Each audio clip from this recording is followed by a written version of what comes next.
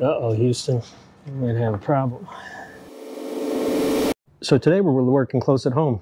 I kind of enjoy that. Right down the way, two houses down, our neighbor Eric hired us to work on his Honda outboard and we're going to uh, pull a full service on that. So let's go get started. Well, let's see what we've got going on here. We've got two sheared off bolts. One, that's not a big deal. This one, this just held this in. So that's not the end of the world. This, I'm gonna have to see if I can get that out of there. This is not gonna be good. It's not gonna be pretty, I can tell you that much. So first, let me see if I can get this lower unit off of here. Let's try a little persuasion, see what happens. Oh, there it goes. That's good news. Eric was right. This has never been serviced. I can tell because of the way this cotter pin is bent. It's they bent them a fancy way at the factory, and it's in perfect condition. There we go. Cut that out. Yeah.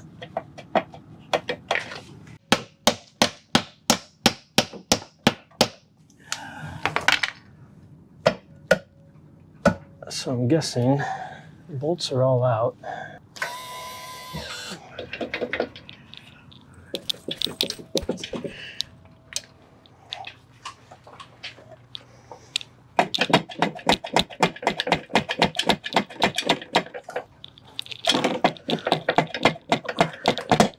There we go.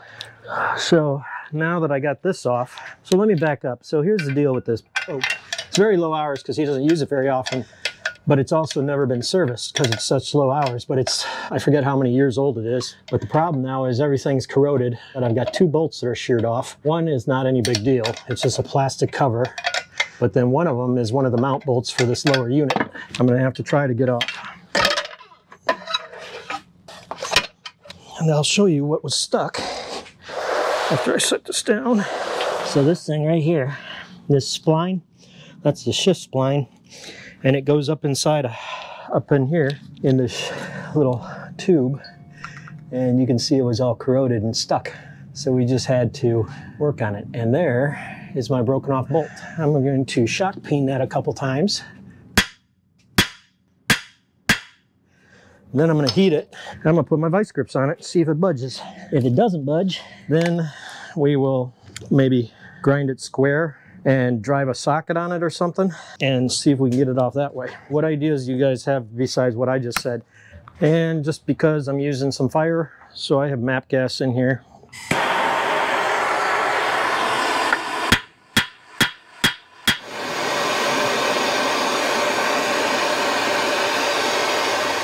You guys can see in those holes, but the holes are all full of salt.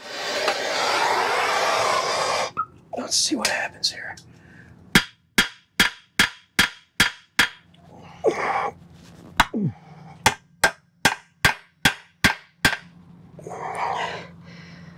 I don't think it's coming. All I'm doing is stripping metal off. All right, so what I'm gonna have to do, I, will probably take it to the machine shop because what they can do is grind this flush and then put it on a machine and mill that out. I'm just looking at what I need to do to take this off. It can't be just as easy as having these two bolts come off right here and here. It can't be that easy. Yeah, I'm just gonna have to take that spacer apart. That's the part where the bolt's broken off in and take it to the machine shop because the bolt holes are all full of salt and so it corroded. And of course I left my ratchet in my truck so let's see if we can make this work. I'm gonna have to go get the tool. I gotta run to Home Depot. I was over here on the Coast Guard sector and there's something that's I've been interested in. I've seen it several times but I thought I'd share it with you guys. So this is the barracks and if you look here how high the water gets. So on a Cat 2 storm, that's six to eight feet right there above sea level. 1964, eight feet. Wilma, 2005, eight feet. That's a category three is nine to 12 feet. Then Gracie, 1959 was 12 feet. Category four is 13 to 18 feet. Andrew in 92 was 17 feet. That's 18 feet and over for a category five. Hugo in 89 was 20 feet over. And if you look way up there, I, I, don't know if you guys will be able to see it, but it says Labor Day Storm 1935, Cat 5, 26 feet. Also Camille 1969, Category 5, 26 feet. There used to be another sign up there. It must have came down, but it used to say 33 feet. and I think that was a hurricane back in the 1800s. I would have to research that to find out. But just wanted to show you guys that while I was over here to look at a uh, Coast Guard job. And uh, I think it's pretty interesting and it's actually pretty damn scary how high the water can get with these storms. Thankfully, we haven't had one in a long time. Let's hope that keeps up. Whose show is it today? It's Chris's- AJ's show. It's Chris's show. Nice. So tell me what you're doing there, big guy. Unscrewing bolts. So we're here on this boat that uh, we have been working on for a little bit. You can see that AJ's pulling our replacement part. This is actually the DC converter inside of one of the AC-12's AC systems that takes the shore power, balances the load, and provides good, safe shore power to the entire boat. It is quite heavy, so we have a few strong, able men here today to help us get it installed. So once we get that, we got to bring it down here into the engine room. It's kind of loud because we have the generator running so we can maintain shore power while we work because we have no shore power. These are the two AC power systems. Their models are the AC-12s. Originally we came here because this one was faulting out. Uh, we went through all of the factory resets and everything just to make sure it wasn't faulted out due to a uh, power spike or something like that. Couldn't get the fault to clear, so as we started troubleshooting it, we actually took this whole panel apart and there's a bunch of test points along here. We'll show you once we get this open. Did the test points, all the test points led to the DC module in here being bad. So we are going to replace that today and hopefully get this up and running so they can have both of these working in parallel together to make good power throughout the ship. Because right now with this one off, and then this one's set to the main one. We're only able to draw about 50 amps. With both of these together, you'll be able to get roughly 100 amps. The other problems before this faulted out is the owners were not around. There was a couple of power spikes and bad power, and it fried out one module that we're replacing today. But unfortunately, when that kicked off, it killed shore power to the phone. Their inverters were set to the default to kick on take over and provide the 110 volts to just part of the panel there. So while they were gone, the inverters kicked on.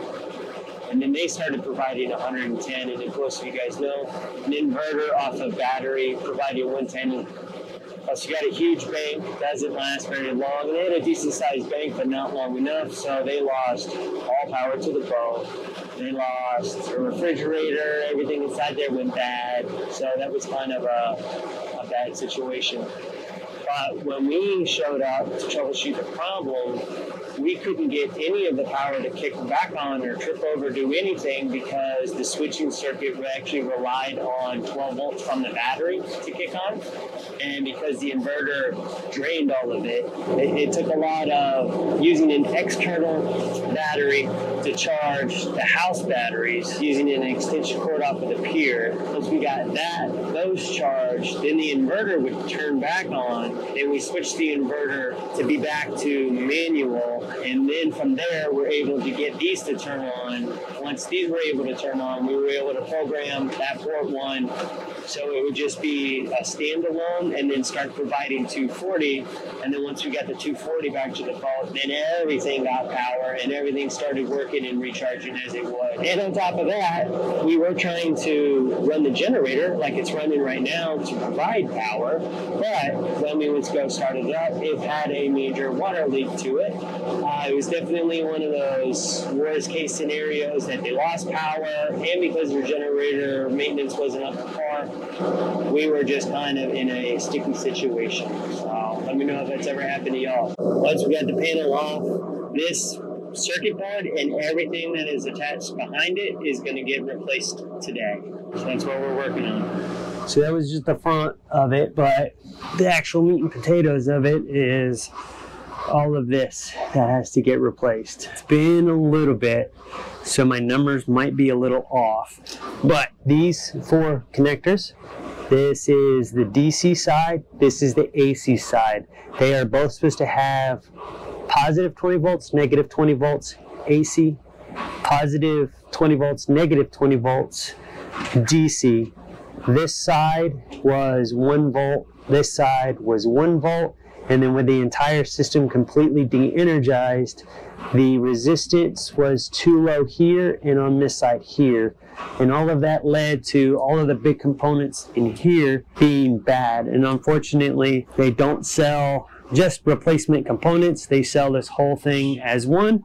So now that we've got it open and we've got a game plan, we're going to get the old one out and get this one in. I gotta run to Home Depot and pick up a tool because my truck is in the shop and all my tools are in there. I have a tool box in my garage, but for some reason, the ratchet's missing. So I'm just gonna go buy one quick and put it back in the bag when I'm done. That way it's in there for next time I need it. Pretty handy living right next door to Home Depot. Yeah, what do you guys use to organize your sockets? Oh, this, hang on. For 10 more dollars, I can get a 144 position, which is real nice. That's worth it to me. All right, let's go. All right, so we got the top circuit board off. We got the part exposed. And uh, that is what we actually had to take out. So we got that top piece off, disconnected, and then now we have access to this. So on the outside it looks like that. On the inside it looks like this. Science. Before. After.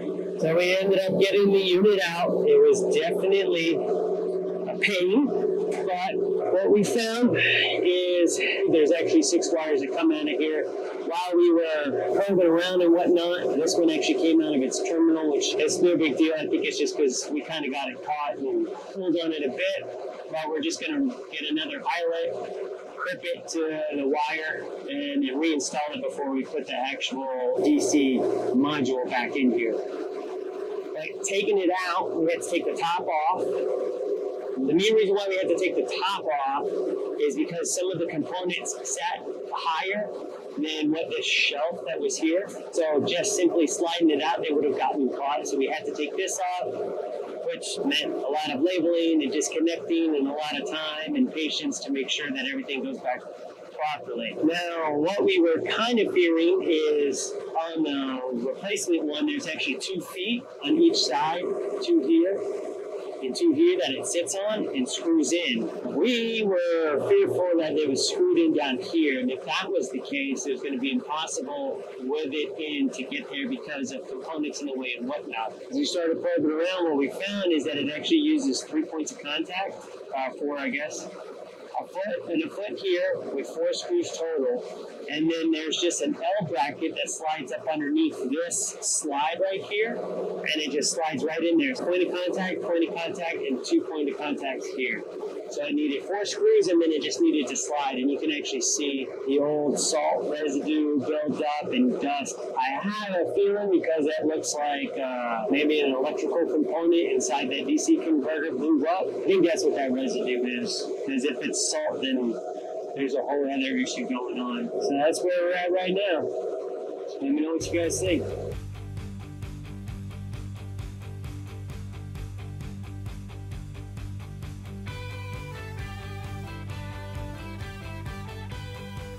So before we put the cover on, we're going to give it a test. Okay, short power is on. Short one, short power two. All right. So we're on. On. Inverter power on. Input online. Status okay. Let's hope I don't break off any more bolts, right? Oh man, they're all full of salt. I don't know if you guys can see all that powder that's falling out of there. See all that white stuff? It's all corrosion byproduct. That should come out when this comes off. What else? I think I'm gonna have to take these off.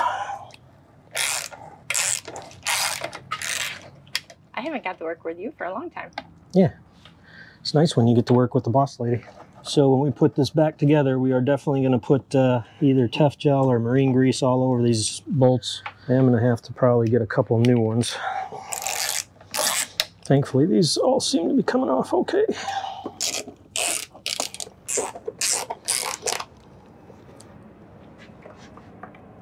See all that stuff on there? If you tasted it, it tastes like table salt. Uh-oh, Houston. We might have a problem. This might not be going to work out the way I was hoping it was going to work out.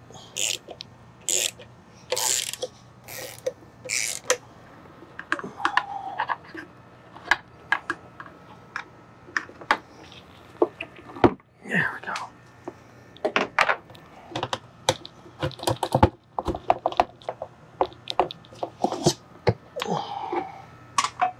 That's not going to be any good. All right, so my plan is not going to work. So we're back to how am I going to get that freaking bolt out of there? What were you trying to do? Well, I was hoping that this was a spacer and it would come off, but it's not. It's part of the engine. So now we're going to try again to heat this up.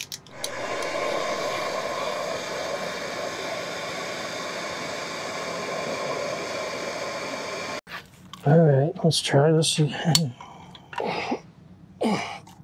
Yeah, got it. Well, stripped off a bunch of metal. Now it's just spinning it, spinning the threads off. You're gonna have to trailer it somewhere. I might have to take it to the shop.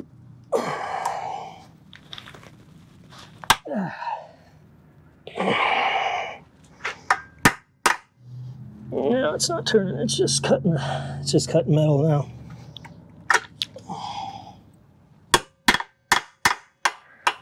Man, that thing is in there.